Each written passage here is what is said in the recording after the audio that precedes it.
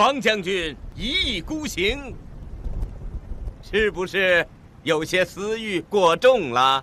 宋将军，原先你只是占山为王，为了得一小小官位，便将梁山弟兄卖与朝廷，用他们的鲜血来涂红你这身官袍。你岂止是私欲过重？方腊真豪杰也，和梁山聚义一样，方腊造反也有着明显的官逼民反性质。但方腊的可贵之处在于不忘初心，是将造反进行到底。直至建立政权，真正实现和大宋王朝的分庭抗礼。而宋江呢，同样有着不忘初心的可贵品质，但宋江的初心在于对体制的疯狂追求，入伙梁山，统领梁山，乃至带领梁山好汉重挫朝廷，征讨大军，都只是为了能够重回体制。朝廷不让我投降，不让我虔诚跪倒在赵王军面前，那我就打疼你，让你给我这个做奴才的机会。一个是拼命摆脱规矩并试图重建规矩的方腊，一个是坚定遵循规矩并努力维护规矩的宋江。两位曾经的江湖顶流大哥还都想说服对方弃暗投明。于是，永金门外一场经典的语言对决正在上演。方腊身边，方茂和庞万春分立左右；宋江身边，李逵和燕青给予支撑。两手头领之间的首次会面可谓剑拔弩张，早已隐喻了最终结果。就这场对话而言，方腊属于被邀请的一方，拥有更多的主动权，而且方腊还拥有主场优势，自然要首先喊话。莫非，这位就是江湖上人称及时雨的宋公明吗？强调宋江的江湖混号，意在讽刺宋江甘当朝廷鹰犬的软骨头表现，而这个莫非则将讽刺的程度陡然提升。翻译一下这句话：赫赫有名的宋公明，不是被尊称为及时雨的江湖大佬吗？怎么也身着朝廷官服，变成了朝廷鹰犬？面对方腊如此消极的应对态度，宋江该怎么办？无论是辩论还是吵架，扬长避短都是压制对方的首要选择。既然方腊从江湖道义层面给出讽刺，那么宋江就只能避开这个理亏的话题，转向自己的优势所在，也就是宋江坚持的忠君爱国思想。小可宋江，久闻方将军威名，却无缘相识。今我奉大宋天子圣命，挥师南下，才得以拜会将军。奉大宋天子圣命，强调了宋江征讨方腊的正当正义，让宋江立马占领了道德制高点。什么江湖道义，什么兄弟情谊，你格局太小。我现在是代表大宋皇权和你对话，希望你能摆正位置，端正态度，认真聆听教诲。可宋江放了，宋江口中的大宋皇权已经不被方腊承认，而且此时的方腊也已经建立政权，拥有了天子称号。所以，我们来看方腊给出的反驳：我现今也是天子，你该尊我为陛下才是。既然天子代表了正义，那我也是天子。到底是谁的态度不端正，谁的位置没摆正？江湖道义层面，宋江明显不行；忠君爱国层面，宋江也被无情驳回。第一局对决，宋江完败。第二局，宋江决定从方腊的软肋入手，开始进攻方腊政权的不合法性。你这个皇帝是自封的。可宋江又忘了，江山固在，但只要易主，就难见和平更迭。历朝历代又有多少开国皇帝不是自封？宋朝开国皇帝赵匡胤虽然有着黄袍加身的登基美化，但也难改他从别人手中夺得江山的事实。所以方腊认为宋江的这个指责属于明显的双标，根本就站不住脚。既然大宋江山是夺来的，我自然也能夺得。第二局方腊胜，宋江败。按照正常的语言对决流程，讲道理讲不过，就只能亮拳头，利用自身的实力优势硬性压制。那也得看能夺不能夺，数十万天兵压境，结果你是清楚的。明知要覆没，为何不给自己和手下的兄弟留一个好的归宿呢？此时的宋江又开始以己之心夺人之腹。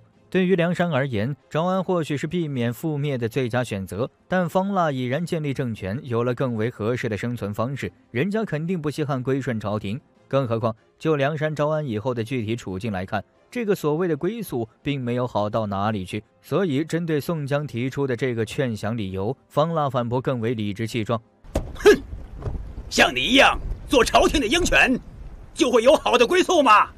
那么这一局到底谁胜了？我们来看宋江接下来的一句回应：“方将军在说气话。”看见了吧？宋江在刻意回避话题，甚至急着终止这个话题。很明显，宋江知道自己理亏，知道自己选错了话题。第三局，宋江又败了。前三局的失败，宣告了宋江于讲道理、亮肌肉方面的失败。也就是说，宋江的强硬态度根本无法威慑方腊。既然如此，宋江就只能放低姿态，缓和态度。方先生，你看哈，咱俩都是大哥，都应该为手下兄弟考虑才对。就此前的月余厮杀来看，你我双方各有伤亡，我实在不忍，所以我才会才不顾日后天庭震怒，与方将军商议休战之事。还望方将军以诚相待。电视剧中关于方腊的演绎虽然并不多，但这位爷能成为江南地区的顶流大哥，能迅速将一个帮会组织发展成割据政权，就足以证明方腊绝非等闲之辈。和宋江的整场对话中，方腊的画风虽然并不锐利，而且始终处于防守状态，但他能随时调整应对方式，给予有效反击。宋江的态度缓和了，方腊也随之缓和语气。宋江给出规劝，方腊也要为梁山指条明路。既然公明先生担心手下兄弟不忍看到更多伤亡，为何非得劝我投降？此时的大宋王朝昏君在位，奸臣当道，根本就不值得梁山好汉们忠心效命。我们握手言和，和平一处，共同打出一个清平世道，争取一个更好的归宿，不好吗？这段话一出，宋江该如何回应？赞成，那宋江就输了，而且一败涂地；反对，别人的建议你不听，你给的建议别人为何要听？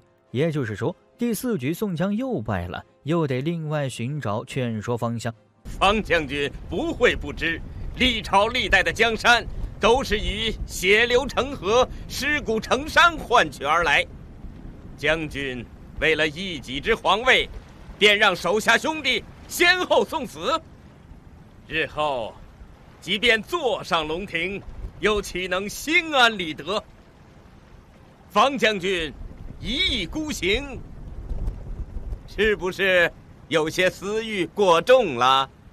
接连的失败让宋江失去了分寸，丧失了理智，竟然主动选择了一个于己不利的劝说理由，说方腊为了皇位而罔顾手下兄弟死活，不会心安理得。可宋江呢？明知蔡京、高俅等人驱火吞狼，明知征讨方腊就是以贼灭贼的阴险计划，可他为了能够重回体制，为了能够封妻荫子、青史留名，不也照样没考虑兄弟们的死活吗？好了，我们来看方腊的致命反击。宋将军，原先你只是占山为王，为了得一小小官位，便将梁山弟兄卖与朝廷，用他们的鲜血来涂红你这身官袍。你岂止是私欲过重？就算方腊私欲过重，但人家追求的东西毕竟值得。更何况方腊建立政权以后，手下兄弟均得到了妥善安置。可宋江呢？仅为了一个小小官位，就将手下兄弟尽数卖给朝廷，那还顾得上他们的死活？一句话，方腊是带着手下兄弟共同争取一个美好的未来，而宋江则是踩着手下兄弟的尸骨，为自己争取一个荒唐的前途。就此来看，宋江又岂止是私欲过重，简直就是道貌岸然的伪君子、真小人。宋江没话了。按照燕青后来的描述，方腊那一番话挺厉害，直戳宋将军的心窝子。宋将军气得脸儿都白了。好了，局势彻底反转，方腊决定趁机掌握对话主动权，开始反手围攻。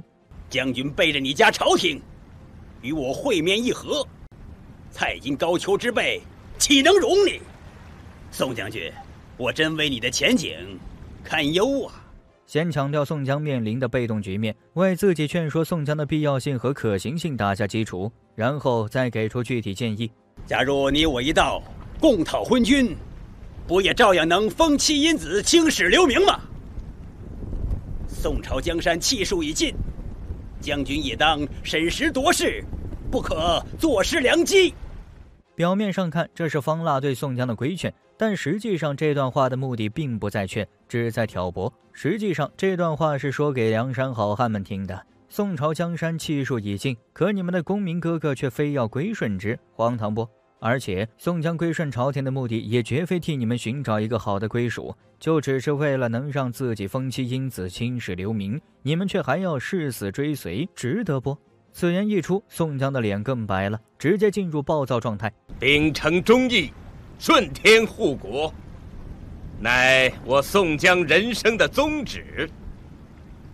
也是众望所归。方将军逆天而行，就不怕身败名裂？注意了，宋江开始骂人了。语言对决一旦出现侮辱性言辞，就基本能够宣告结束，基本能够判定胜败了。再来看双方随驾人员的具体反应。方茂大喝一声“放肆”，李逵随即回应一声“大胆”。方腊军中弓箭手准备进攻，宋江军中盾牌手给出防御。隐喻结果已经非常明显，宋江被动了，输了。既然这场对决已经有了结果，而且方腊挑拨梁山内部团结、重挫对方士气的目的已经达成，他自然也就不再废话。你的好意我心领，我的建议也请你三思。要想要打，悉听尊便，我随时奉陪。待得方腊潇洒离开，再看宋江的表情，劝降方腊。我当时是怎么想的？脑子肯定让驴给踢了。只是严重受挫的大军士气，严重影响的领导权威，宋江又该如何挽回呢？宋江最为阴毒的挽回方式，让无数看官瞬间破防的张顺魂归永金门即将上演。